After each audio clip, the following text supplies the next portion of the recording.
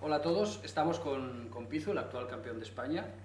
Eh, Pizu, ¿qué tal te ha ido la aventura americana de Las Vegas? Pues la verdad es que, como bien sabéis, mm, con mal sabor de boca, pero bueno, en el fondo la lectura fue bastante positiva, ya que llegué al día 3 de torneo y por poco entré en premios. La verdad es que quedé en 900 y poco y llegaban a entrar en premios casi 700.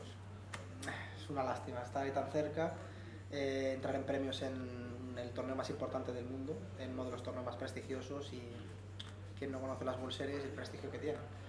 Y la verdad es que te quedas con mal sabor de boca, pero en el fondo eh, me sentí bastante bien, creo que hice un buen papel, eh, acabé bien el día 2. El día 3 la verdad es que no fue muy día, no tuve mucha suerte, pero la lectura positiva, tuve un buen torneo y, y ya sabemos cómo son los torneos. Llegaste a liderar el, el grupo de la Armada Española el segundo Sí. día, creo. Correcto, es, es que es lo que digo, que el buen sabor de boca del día 2 no, no, no sé si compensa el día 3. El día 3 la verdad que fue bastante mal, fue uno de los peores días que he tenido en un torneo grande y la verdad es que no pude hacer mucho. Eh, tuve todas las jugadas en mi contra y acabé eliminado. Pero bueno, estamos aquí en el Paradise para resarcirnos, a ver si le damos una alegría al equipo Azartia. A ver, a ver si es verdad.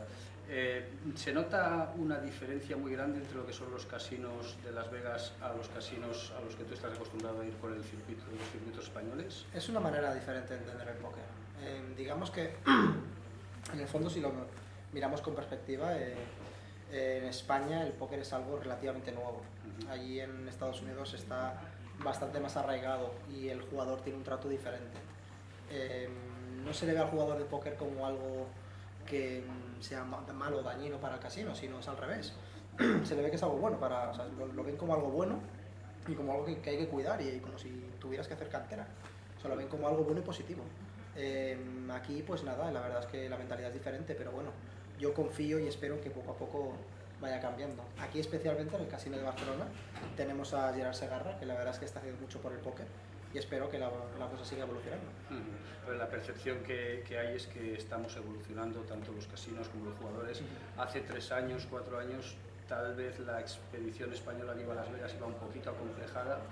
Yo he tenido la percepción personal de que este año se iba con más confianza. Yo creo que eso es, es un poco el sentir general de que el póker en España es un fenómeno ya asentado, ya nos sentimos seguros del nivel.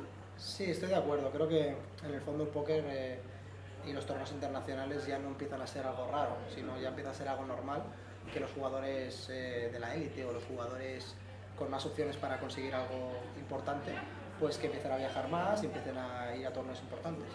Pero bueno, creo que es algo que poco a, mo- poco a poco se va a ir asentando y va a ser algo totalmente habitual que escuchar que un jugador español ha hecho caja en Eslovenia en un torneo o que Esperemos. ha ido a Rusia a jugar a un torneo en Estados Unidos. Seguro que llega, esperemos que sea pronto. En lo que respecta al Paradise Poker Tour, ¿cómo estás viendo el torneo? ¿Te gusta la estructura que hay? ¿Te sientes cómodo? ¿Cómo, ¿Cuáles son tus impresiones? Estamos en el primer descanso de la cena, empezamos con 15.000 puntos, ahora tengo 13.000, aún habiendo estado en 22.000, me siento cómodo. Eh, la estructura es buena, bastante buena, la única pega que le voy a poner es que los santes quizás son un poco rácanos, eh, veo que son demasiado pequeños y eso quizás... eh, Para un jugador agresivo como tú, tal vez preferiría Em, antes un poco más elevados. Sí, pero no va por ahí la cosa, sino que el hecho de que los antes sean tan pequeños fomenta que el juego sea más tight y que la media de fichas sea más baja y que por lo tanto sea menos jugable el torneo. Eh, creo que es importante tener unos antes bien proporcionados al nivel de las ciegas, tanto en tiempo como en, como en el hecho de los niveles en sí, cada cuánto doblen las ciegas, como también el ante. El ante es importante. El ante- el- la estructura es buena, pero si tengo que poner alguna pega, le pongo la delante. Vale, eso es ya, supongo, rascando un poquito. La impresión general que estoy Es buena, recogiendo de, muy correcta, sí, de los jugadores es que tanto el ballín como la estructura Es acorde, sí, sí, lo, veo- lo veo muy la- bien. lo han convertido en un caramelito. Un torneo muy serio, sí, sí, muy bien. La verdad es que es un torneo muy agradable, el ballín es medio, está bien, y la estructura correcta, muy correcta. Salvo este detalle, muy correcto. Perfecto.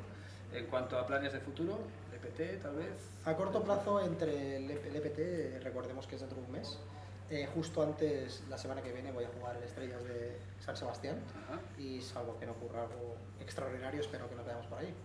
Y nada, luego ya jugamos el EPT, y después quedan un par de torneos más, creo que queda el EMOP aquí en Barcelona, Ujú. y mm, el Estrellas de Ibiza, que es un poco después.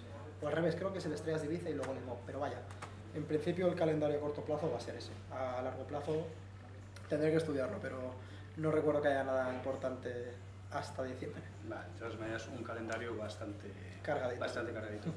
Pues muchas gracias por tu tiempo, Pizu, y nos despedimos. Sergio Andreu para poker10.com. Un saludo.